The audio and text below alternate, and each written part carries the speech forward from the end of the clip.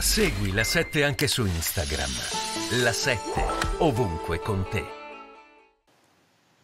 E ci dice che eh, poi su, su, su, sui territori, insomma, nel, nel, nel microcosmo locale, eh, non sempre le dinamiche nazionali eh, pesano quanto, quanto ci, ci, aspettiamo, no? osservando il dibattito più generale. Lì c'è però, come dire, una questione insomma, molto delicata di affluenza, nel senso che le suppletive sono un tipo di elezione in cui generalmente vanno a votare in pochi o in pochissimi.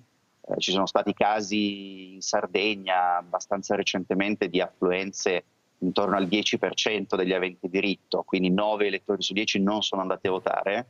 Eh, probabilmente insomma, sarà superiore in realtà la partecipazione in questo caso di di Monza, però ecco, è chiaro che quando vanno a votare così pochi elettori è più imprevedibile in un certo senso la, la partita, perché è difficile capire chi andrà a votare e bastano relativamente pochi elettori mobilitati per determinare il risultato. Quello è un collegio in cui poi il centrodestra ha vinto molto largamente eh, un anno fa con, con Silvio Berlusconi, candidato nel collegio uninominale e quindi diciamo da un lato penderebbe verso il centrodestra, dall'altro è vero che se uno considera tutta l'area dell'opposizione eh, potrebbe essere un po', un po', più in gioco, ma lì, eh, Alessandra l'hai sottolineato anche tu, entrano poi in gioco delle dinamiche eh, locali, abbiamo sentito il sindaco, eh, che, che, insomma in un certo senso smentiscono anche forse quelle, quelle, conclusioni a cui arriviamo guardando solo ai leader nazionali. No? Eh, il sindaco